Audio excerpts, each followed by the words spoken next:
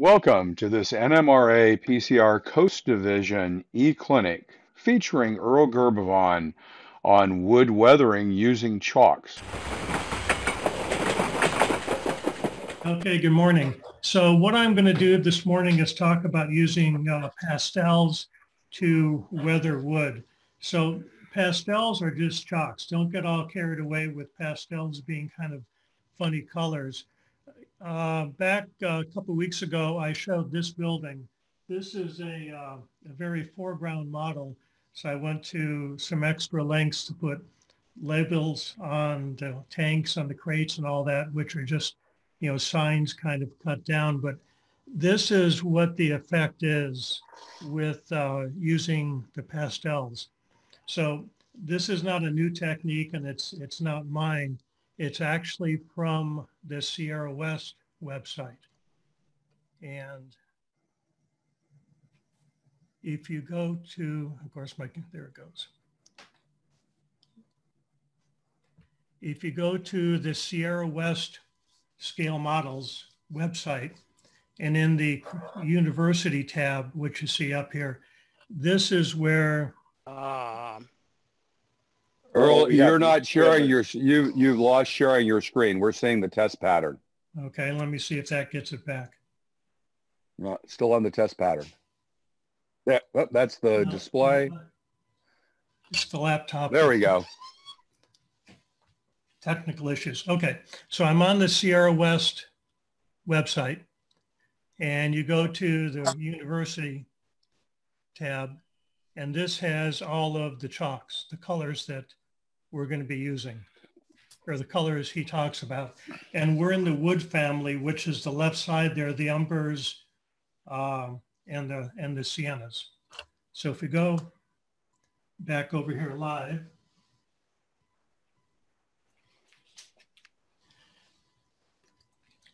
and we'll talk about the chalks here in a minute. Let me talk to you first about the way that I weather wood. You know, Frank did that excellent clinic a while ago and he uses some parallel X-Acto knife blades to put in texture on wood. I like this. This is just a plumbing brush from Home Depot. And the thing that I like about this is the grain pattern, the weathering is random. You know, with Frank's knives, you kind of get the parallel cuts. These are a little more random. And all you do, and I'm working, by the way, on a sheet of glass. And glass works well for this.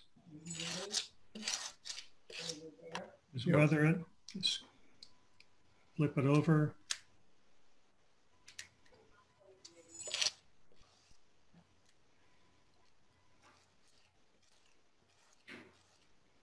You can see I've got a little pile of sawdust here, or maybe you can't, but that's kind of what you want is just putting in some texture.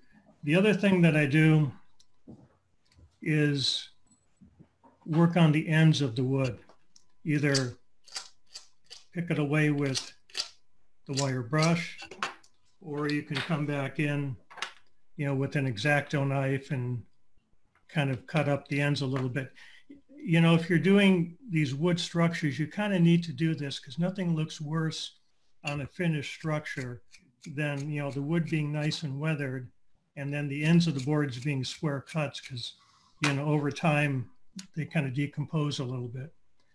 So to color the wood, it's pretty simple. These are some of the pastels that uh, we talked about from the Sierra West website. This is an umber and this is a gray. And all of these avail are available from the Dick Blick website or some other websites.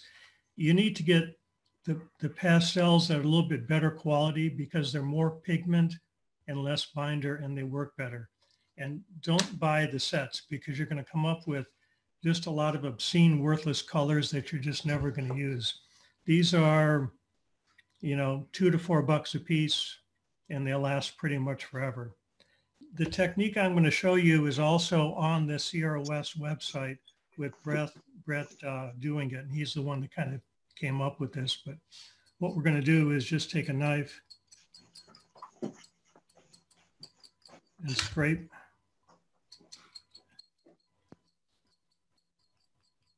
Some of the colors on the sheet of glass.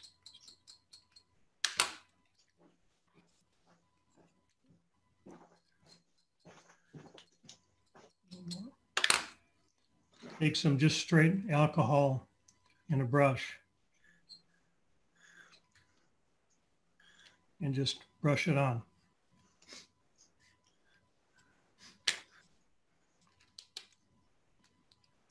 And I do both sides of the wood with this.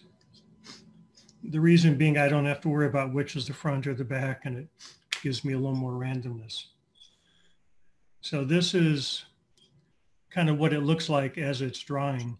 And what I do is I'll set these aside to dry somewhere off camera typically, come back in with some more wood that I've already weathered, scrape maybe a little more chalk. And you can see over time the glass kind of builds up with more and more of this chalk on it. So you don't need as much.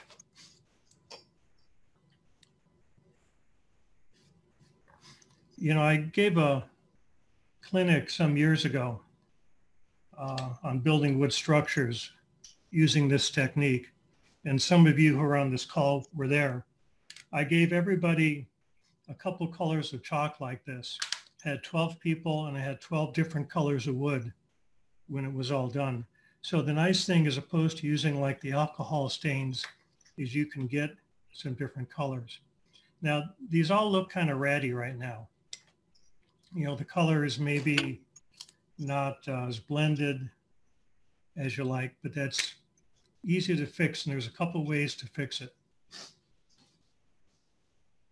So I'll let, you know, these would dry pretty quick, but these are some strips that I did earlier. And let me get this out of the way so you can see it better.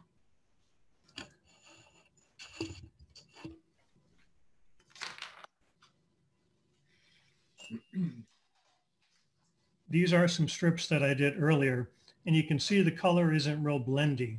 It's kind of splotchy, and that's okay. There's a couple ways to fix it. Either come back with the wire brush, and you can kind of brush in a little more grain with it. Or the really easier way is take a paper towel and just wipe off the excess and you get, you know, this kind of rotted old wood kind of look. So that's really the technique. It's simple, it's straightforward. The thing that I like about it is it dries quickly. You know, it's the 90% alcohol. And, you know, these were a couple that I just did. And these are pretty much dry and ready to go. And you can always use a hair dryer to, to kind of speed things up. The chalks come in, or the pastels come in a lot of different colors.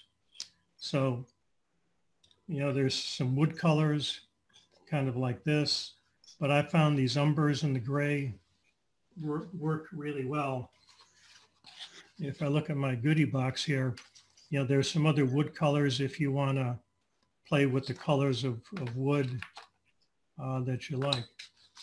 The other nice thing with this is it works good. It works okay for plastic. This is a kind of a project I'm working on and it's all wood, you know, it's board by board, but the doors are plastic. So I, what I did is uh, primed the plastic and then came back in and did the chalk technique on the plastic. And the colors aren't showing up as good on the camera, but in person, you really can't tell that the door is plastic. So if you would do plastic, these are uh, some plastic uh, six by sixes I scribe pretty much using Frank's technique as with plastic, you want to get a lot of grain. And, you know, you can use this chalk almost like a paint. You know, we talked last week, I think Charlie brought up the question about, you know, glue squeeze out and things like that. this will paint over most anything. And again, I'm just using some alcohol, grabbing some of this chalk that I had on my piece of glass. And uh, once this dries, it'll be pretty darn close. You can see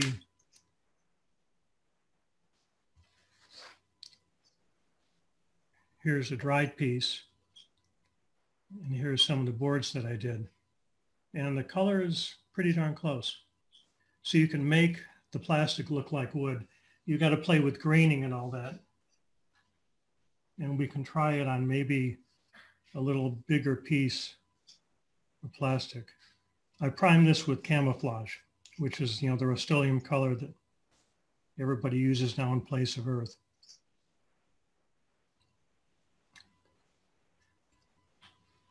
So again, once this dries, it will be close to the wood color.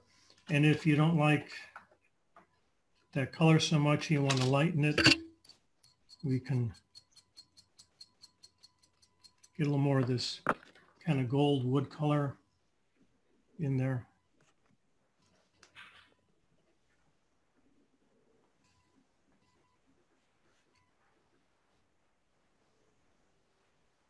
You know, it's not going to look real wood grainy on this big piece of plastic, but just want to show you, you can get a lot of variations of the colors just by playing with different chalks. So uh, this is, you know, just a demo piece of glass. Let me show you what one of my pieces of glass look like.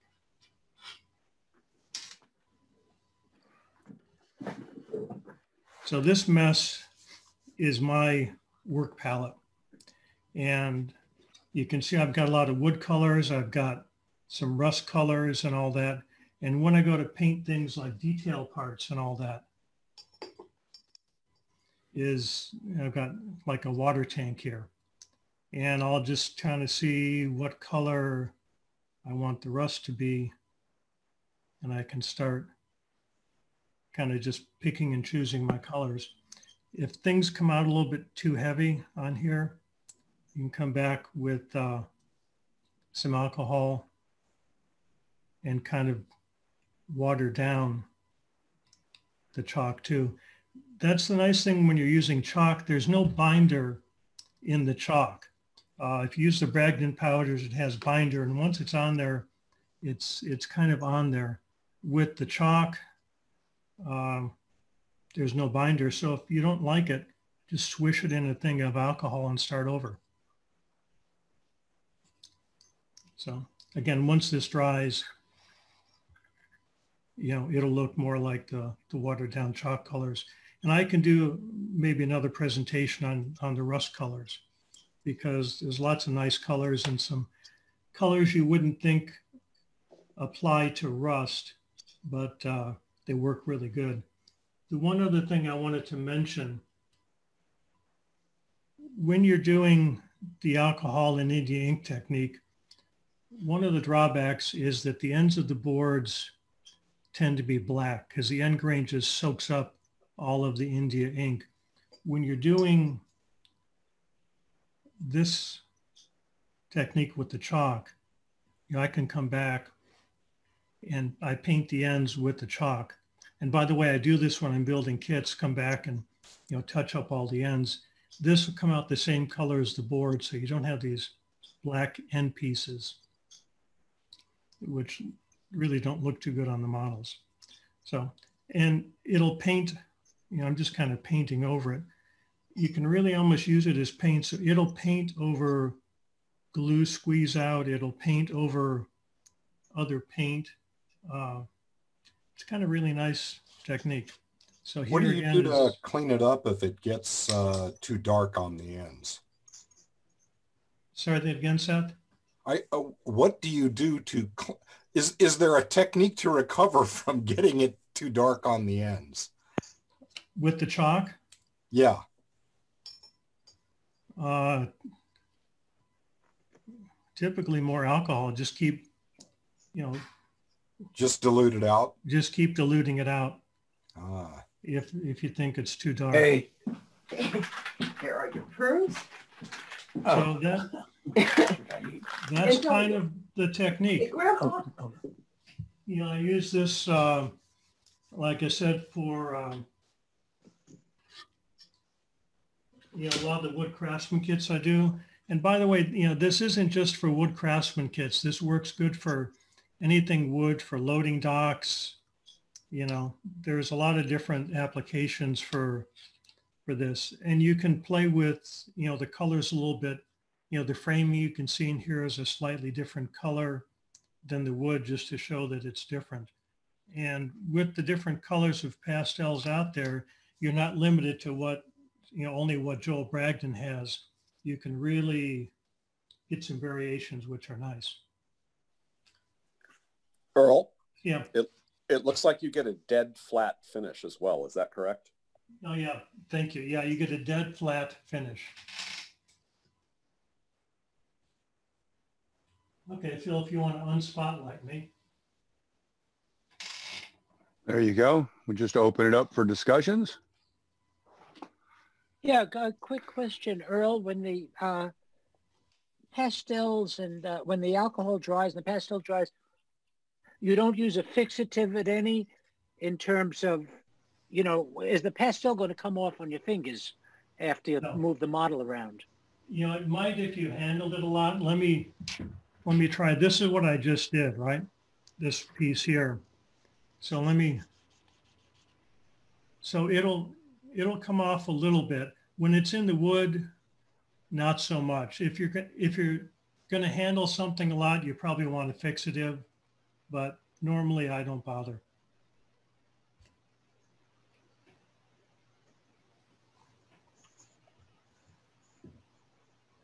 Earl Dave Connery, another question off topic a little bit, but when you're building those structures, do you build them on any kind of a base? Uh, I, I, what do you mean by a base? I don't know how to answer. I don't know what you're. Well, do you do you do you have a a base that you build the structure on and then set the base in the layout, or do you just build the structure and set the structure uh, on the layout uh, Oh, I understand. I understand. It it depends on the structure. You know, this one, you know, that I've been showing, you know, is very foreground model. You know, it's it's stands on its own.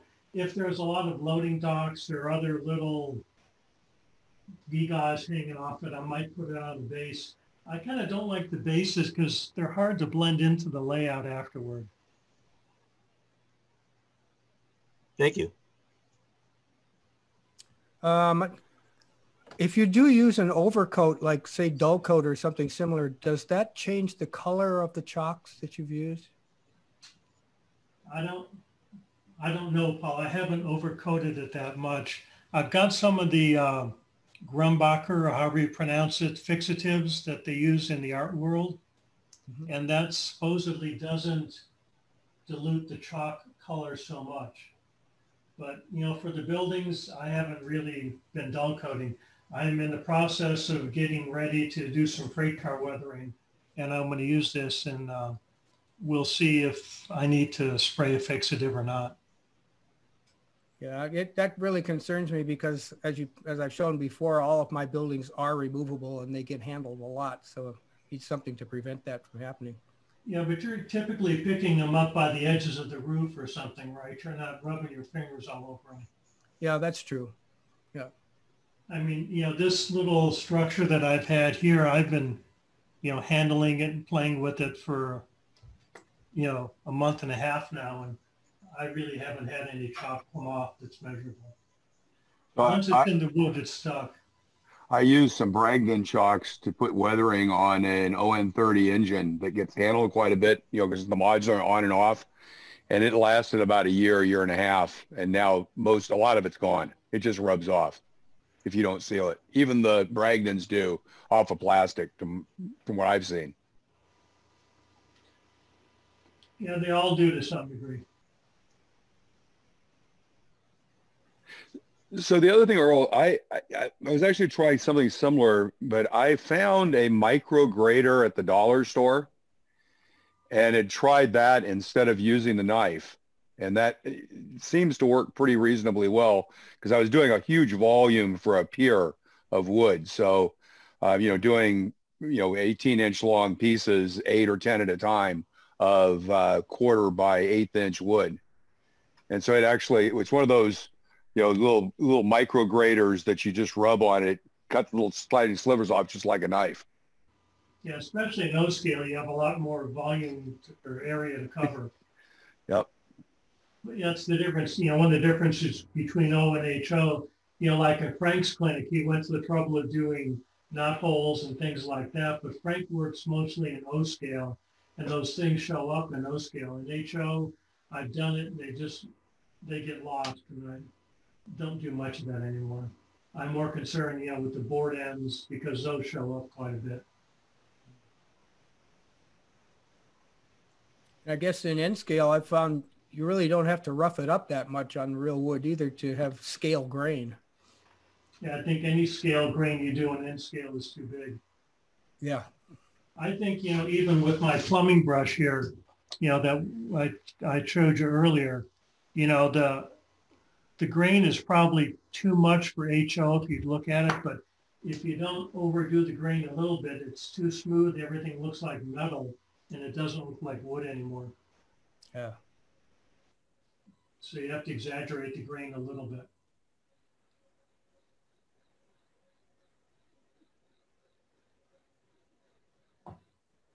Mm-hmm. Well, good. Well, thanks, Earl. That was that was great. Um, I think got a lot of great info there and techniques to try. A uh, big hand from everyone. We'll all hit the reaction button and give you applause. You too. Bye now.